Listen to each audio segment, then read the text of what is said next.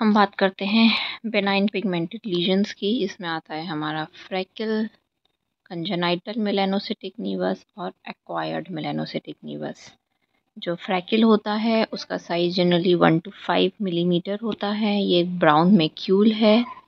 ये बनता क्यों है? क्योंकि इंक्रीज मिलानिन हो जाता है हमारी एपिडर्मल बेसल लेयर में। टिपिकली जो सन एक्सपोज्ड स्किन होती है, वहाँ पर नंबर ऑफ़ freckles वेरी करते हैं with the level of sun exposure and can sometimes they regress completely Histopathology shows hyperpigmentation of the basal layer of the epidermis with a normal melanocyte population.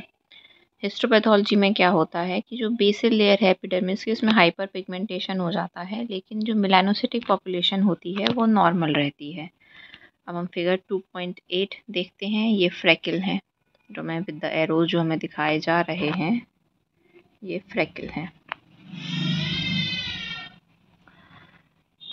अब बात करते हैं congenital मिलेनोसिटिक नीवस की। Congenital नीवाई uncommon होते हैं। They histologically resemble their acquired counterpart ये usually छोटे होते हैं यूनिफॉर्म कलर के होते हैं। रेयर वेरिएंट हमारा एक किसिंग या फिर स्प्लिट नीवस होता है, जो कि अपर और लोअर आईलिड में होता है। एंड में ओकेजनली इसमें बहुत सारे बाल होते हैं।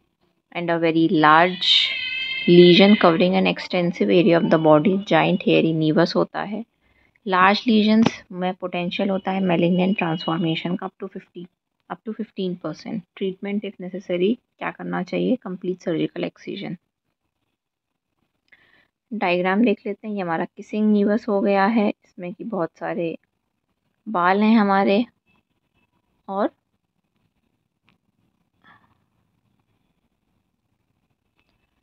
कंजनाइटल न्यूवस तो यही है।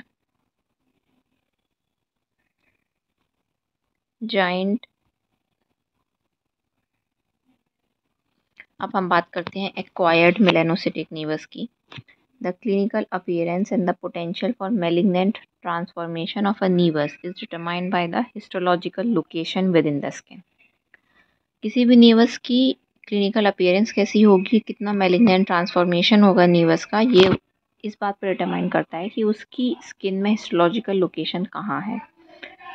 जो जंक्शनल नीवस होते हैं they occur in young individuals as a uniformly brown macule और प्लाक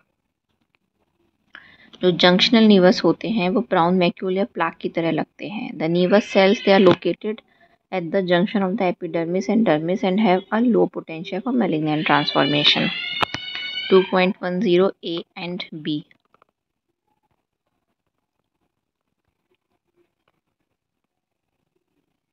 A and B ये हमारे जंक्शनल न्यूबस होते हैं, ये लाइट ब्राउन कलर के होते हैं और ये हमारे एपिडर्मिस और टर्मिस के जंक्शन पर होते हैं। इसीलिए हम लोग इसको जंक्शनल न्यूबस कहते हैं। They have a low potential for malignant transformation जो कंपाउंड न्यूबस होते हैं, ये मिडिल एज में अपियर करते हैं as a raised papular lesion ये रेज्ड होते हैं।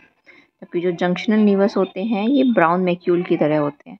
The shade of pigment varies from light tan to dark brown but tend to be relatively uniform throughout the nevus cell they extend from the epidermis into the dermis it is a low malignant potential related to the junctional component इसको compound इसलिए कहते हैं क्योंकि जो nevus cells होते हैं, वो epidermis से डरमिस में एक्सटेंड कर जाते हैं।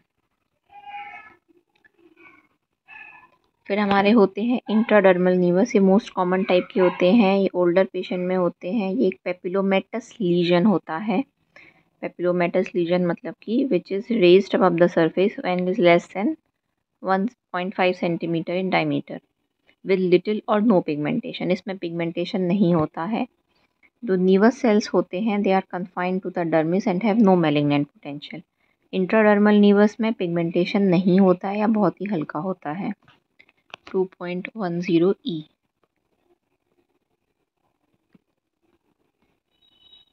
ये जो हमारा C है this is a compound nevus these nevus cells both at the epidermal और डर्मल के जंक्शन पर हैं.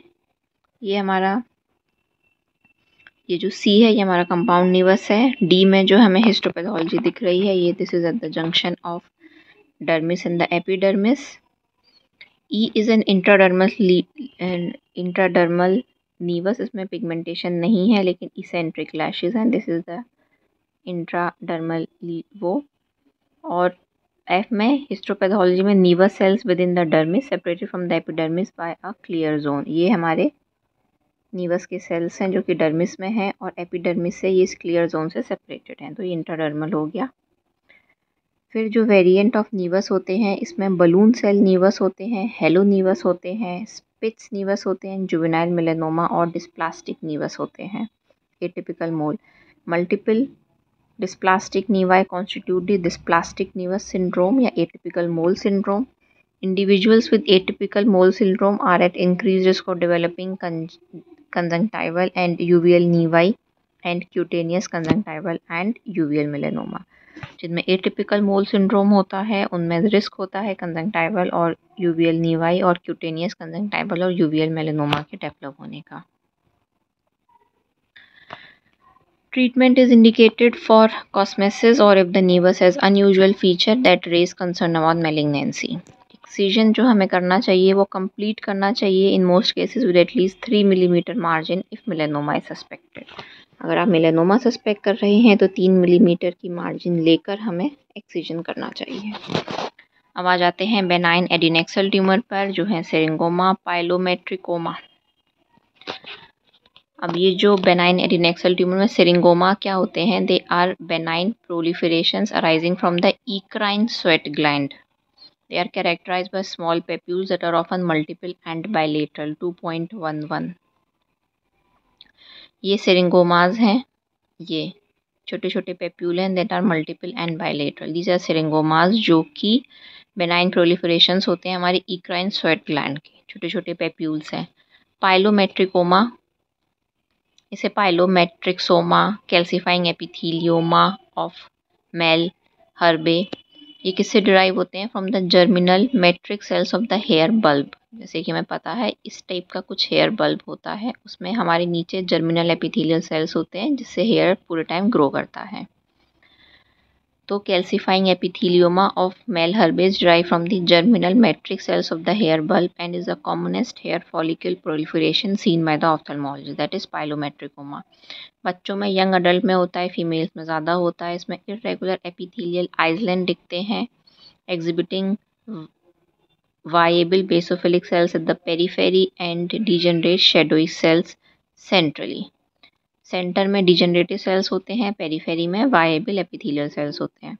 It appears as a mobile purplish dermal nodule that may have a hard consistency due to calcification calcification is frequently present and and there is often a foreign body giant cell reaction malignant change बहुत rare होते हैं legion हम लोग generally surgically remove करते हैं. बाकी जो other common disorders of hair follicle proliferation में trichofolliculoma trichoepithelioma and tri and trichilemmoma होता है। Miscellaneous benign tumours next video में बात करेंगे। बाय बाय अच्छा हम लोग फ़ोटो देख लेते हैं। 2.12 ए और बी ये है हमारा पाइलोमेट्रिकोमा वाइबल एपिथेलियल सेल्स जो होते हैं, ये हमें सेंटर में दिखेंगे। और पेरीफेरी में हमको डिजेनरेटिव एपिथेलियल सेल्स दिखते हैं पाइलोमेट्रिकोमा में। और ये इसकी क्लिनिकल अपीयरेंस है। ये पर्पिश नोड्यूल है, जो कि हार्ड कंसिस्टेंसी की हार्ड कंसिस्टेंसी होती है बिकॉज़ ऑफ़ कैल्सिफिकेशन ठीक है।